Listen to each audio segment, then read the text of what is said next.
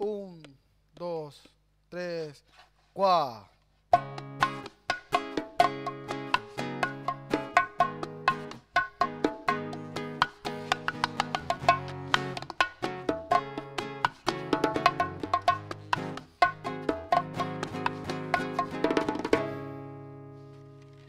Hola a todos, mi nombre es Ramón González, bienvenido al canal de Folklore Musical. Hoy le presentaremos al bongo Mail de la línea Headliners. El bongo Mail de la línea Headliner está hecho de madera de caucho, tiene parches de cuero de panza o búfalo seleccionado a mano. Eh, en este caso la medida de este bongo es de el agudo 6 3 cuartos y, y el grave 8 pulgadas. Tenemos tensores color negro mate y más bien aros de tensor negro mate y tensores cromados. A continuación pasaremos a mostrarle la afinación de un mongo. Una de las preguntas más frecuentes a la hora de comprar un mongo es cómo afinarlo.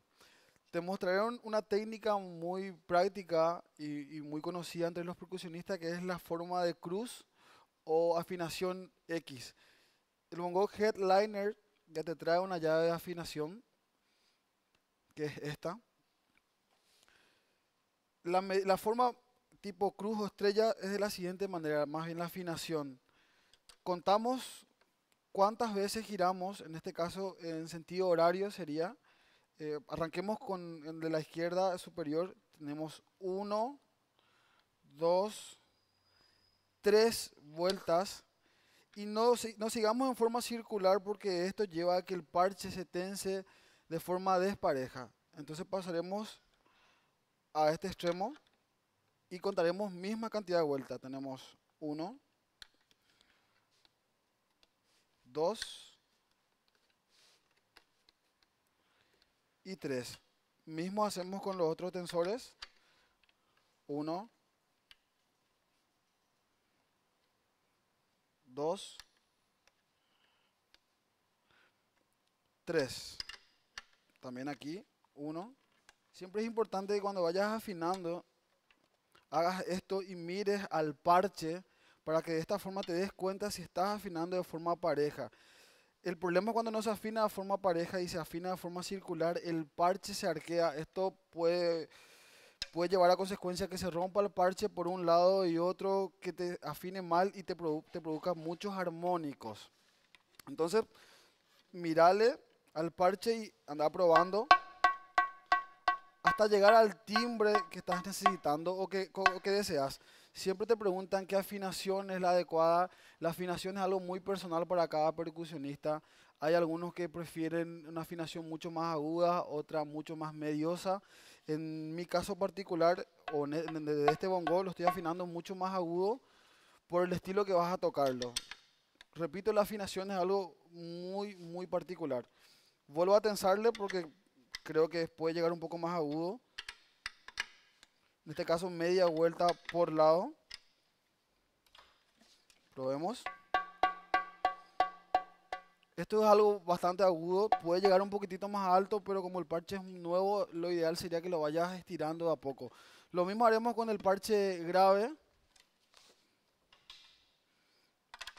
Misma cantidad de vuelta. Podemos arrancar con 3, 2, 3. 1, 2, 3. Alguno va a estar más tensado que el otro, entonces ya no va a llegar a 3 vueltas. 2, 3, 1, 2, 3. En el caso del grave, del, del parche de 8 pulgadas, es un poco más grave, ya también es particular dependiendo de cómo quieras afinarlo, si quieres que sea mucho más grave, mucho más agudo, mucho dependiendo del estilo. Existen varios fabricantes que ya fabrican eh, parches sintéticos, puedes lograr más agudo con un parche sintético, hay eh, parches de la marca Evans, Remo, los Fiber Skin, que pueden lograr diferentes timbres. En este caso, como le había dicho, el Panza Búfalo es bastante recomendado y aparte es seleccionado a mano haré una breve demostración de, de cómo suena este bongo a continuación.